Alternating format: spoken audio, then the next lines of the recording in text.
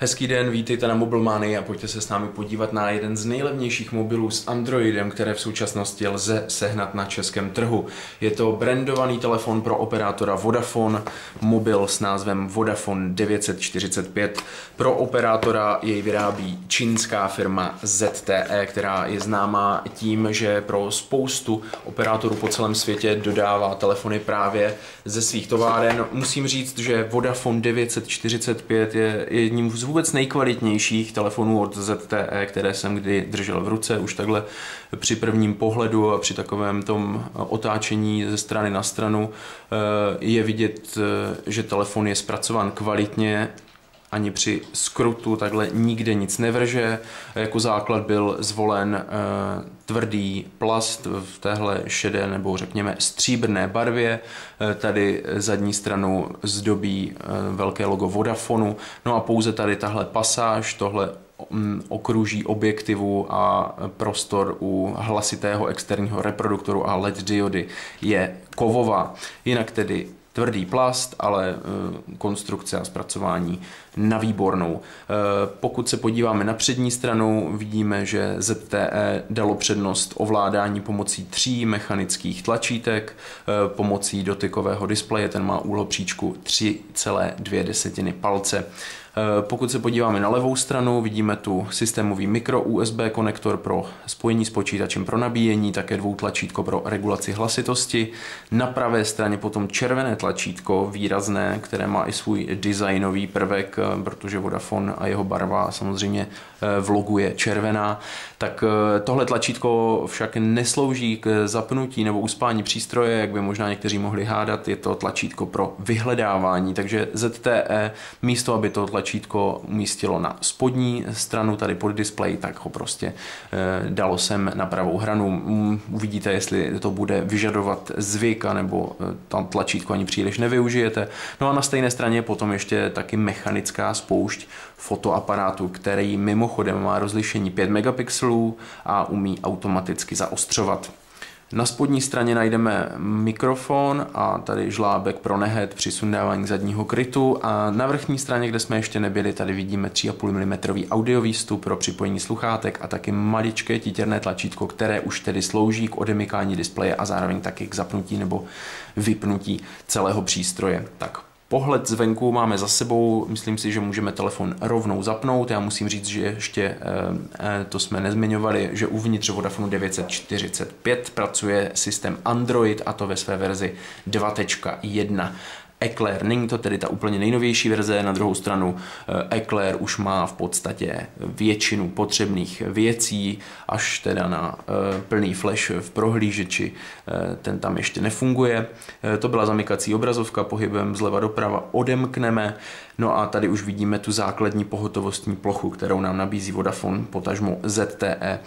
Je to plocha, která se dá rozdělit do několika podploch, v tomto případě jich je tedy pět, vždycky dvě a dvě na každou stranu a ta jedna základní. No a je to taky e, základní lišta, která umožňuje rychlé volby k několika akcím, do psaní zpráv, do prohlížení e-mailu a na číselník. A tady tohle, tahle mřížka, to už je vstup do hlavní nabídky. Ta hlavní nabídka je vertikální, klasická, v podstatě jakoby roletkovitá, e, s tím, že v ní listujete pohybem z vrchu e, dolů tak teď jsem tady něco zapnul, eh, no a v podstatě ZTE nebo Vodafone nijak do této nabídky zvlášť nezasahoval.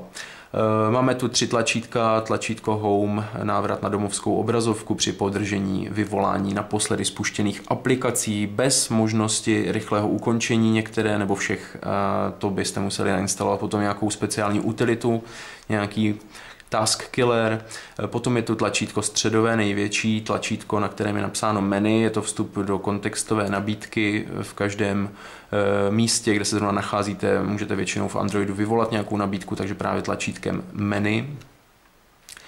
A potom je tu tlačítko eh, šipka zpět, tak tuhle funkci asi není třeba nějak dlouze vysvětlovat. Eh, musím říct, že co se týče srovnání s těmi nejlevnějšími Androidy, ke kterým Vodafone 945 určitě patří, tak má rozhodně navrh svým 5 megapixelovým foťákem s diodou a s automatickým ostřením. Naopak trošičku ztrácí právě tím displejem. Uhlopříčka 3,2 desetiny palce, to je dostatečná hodnota, ovšem rozlišení 240 na 400 bodů při této uhlopříčce už činí font na displeji eh, lehce roztřepeným, vidíte při bližším zkoumání i jednotlivé pixely a třeba ve srovnání s takovým eh, LG Optimus One, který má v podstatě, dá se říct, eh, totožné, totožný displej, co se týká uhlopříčky, tak tady je hodně to rozlišení patrné. Když se podíváme do hlavní nabídky, podívejte se, že Vodafone já tady mám u Vodafonu nastavený maximální jas, takže teď možná vypadá, že je jasnější, ale rozhodně se podívejte na ten font, Eh, v jemnosti toho písma a vyhlazení těch ikon se bohužel Vodafone 945 eh, LG rovnat nemůže. Eh, druhou věcí, kterou má LG navrch je tedy Android ve verzi 2.2, ale LG zase nemá foťák 5 megapixelový a nemá tam, tam tu LED diodu, takže rozhodně jsou tu pro i proti na obou stranách. My se teď ještě pojďme rychle podívat, jak vypadá klávesnice v provedení Vodafonu 945. Teď jsme v rychlém psaní zpráv.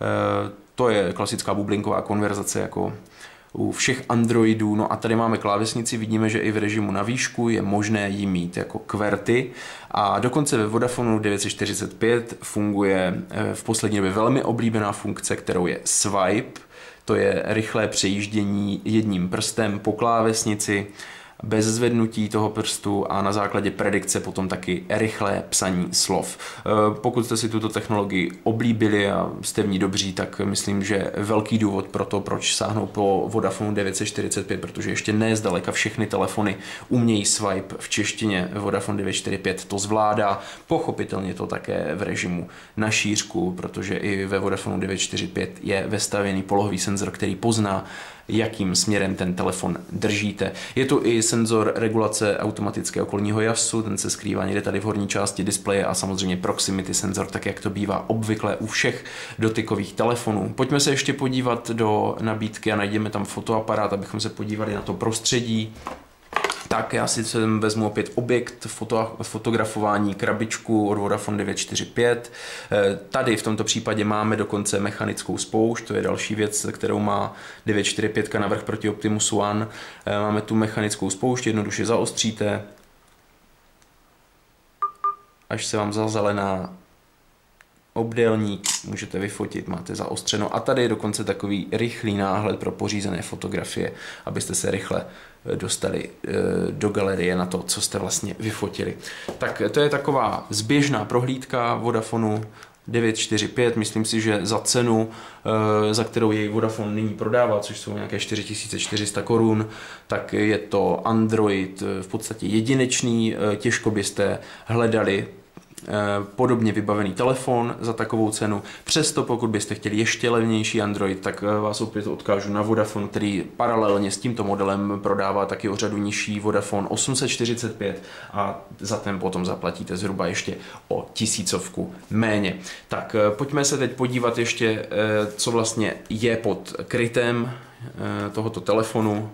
Eh, můžeme tam opět očekávat akumulátor, to jsem možná ještě neříkal, je to baterie s hodnotou 1500 mAh, takže opět eh, jedna z nejkapacitnějších baterií, které se v současnosti do mobilů vůbec dodávají. Máme tu paměťovou kartu, microSD kartu, která je přibalená rovnou z výroby, respektive z prodeje a má kapacitu 2 GB. No a potom už je tu jenom SIM karta, kterou tam takhle jednoduše vložíte tolik pohled pod baterii a ještě abychom byli úplně kompletní, tak pokud si Vodafone 945 koupíte, v krabici naleznete následující. Rychlou příručku od Vodafonu, záruční list, budete tu mít také nabíječku, velmi tenký a malý, eh, velmi tenká a malá zástrčka, to chválím. A na konci mikro USB, což je systémový konektor tohoto telefonu. Eh, potom je tu samotný mikro USB kabel, A máme tu i jednoduchá sluchátka, opět pecky, klasika, nic e, extra výkonného, e, jednoduchý ovládací panel pro přijetí hovoru a na konci 3,5 mm jack v jedné přímce s kabelem, takže by se nemusel, nemusel by se překroucet. No a tady ještě pro ty z vás, kteří rádi čtou uživatelská příručka a rychlý průvodce. Tak tolik balení Vodafonu 945. Více informací o tomto mobilu najdete na www.mobilmania.cz.